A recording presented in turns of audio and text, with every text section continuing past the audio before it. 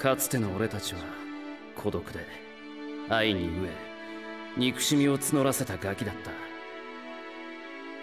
俺たちは互いに違う道へ行き戦った。だがナルトお前は決して俺を切らずずっと俺の心に近づいてきてくれた。俺に憎しみをぶつけてきてもおかしくなかったはずなのにお前は俺のことを友だと言ってくれた。そしてどんなに傷ついても俺を友として止めてくれた。お前のおかげで俺は救われた。いがみ合ってたちっぽけな俺たちが今は互いの心を痛み合うことができる。このことは俺たちだけじゃなくもっと大きなものにも言えることなのかもしれない。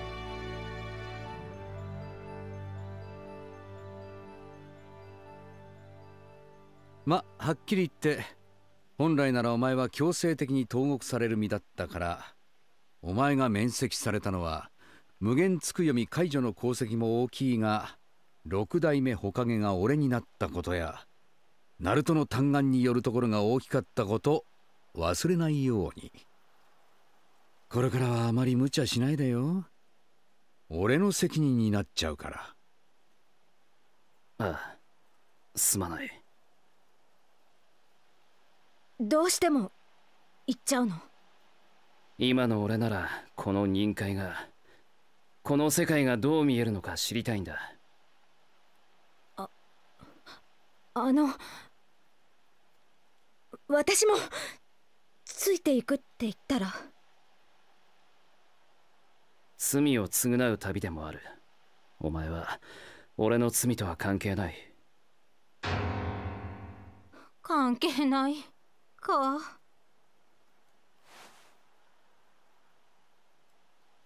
また今度な。ありがとう。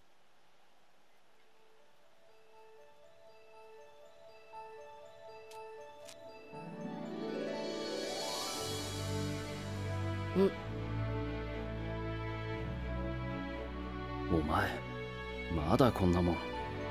これを返すお前との本当の勝負まで取っておいてやるよ。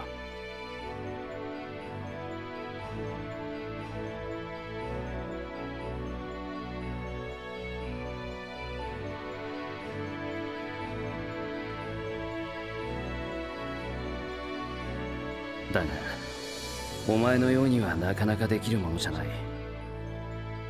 そう簡単にはいかないだろう。それは祈りにも似た思いだ。それでもそれができるまで耐え忍んでいく。その様を任された者たち。それが俺たち。ナルト。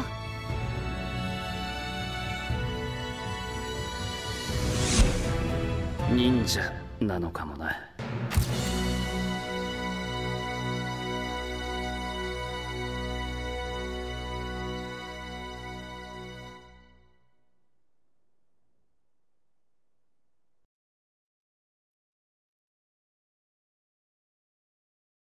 創世に始まり大続きを経てもなおやむなく続く連鎖がある。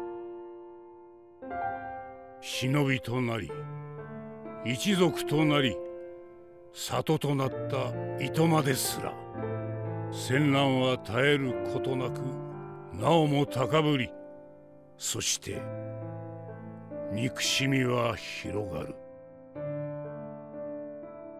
かくてかの二人もついに立ち戦い続けた。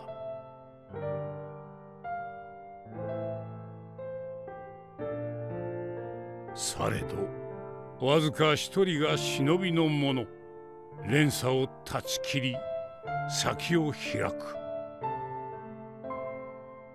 友を作り友を追い友と挑み友と結ぶ。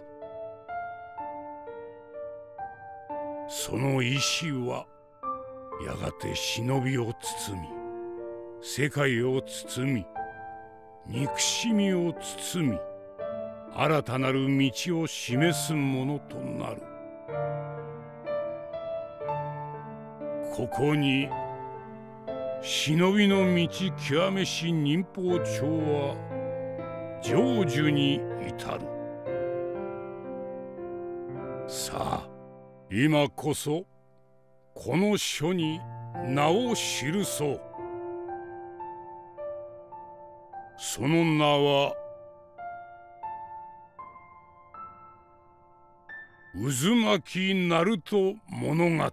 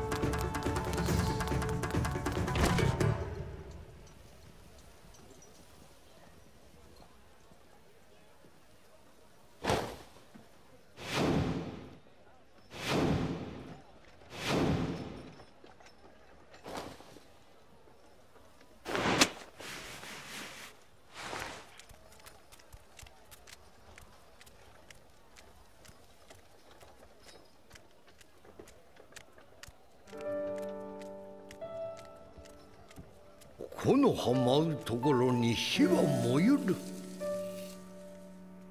火の影は里を照らし。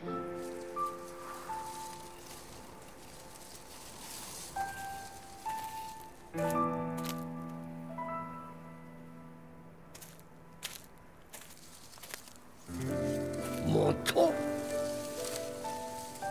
の葉は芽吹く